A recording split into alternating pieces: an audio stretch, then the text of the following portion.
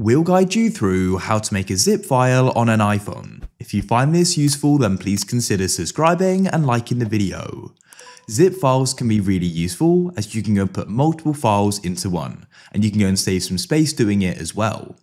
So if you want to do this with photos and videos, you'll need to go and open up the Photos app and you'll need to go and save them to your Files app as we need to do it in Files.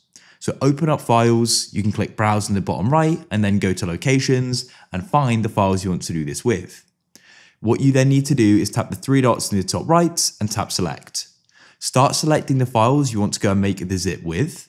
And after you've gone and done that, you want to go down to the bottom right and tap the three dots. There you should see the option for compress, which you can then go and tap on.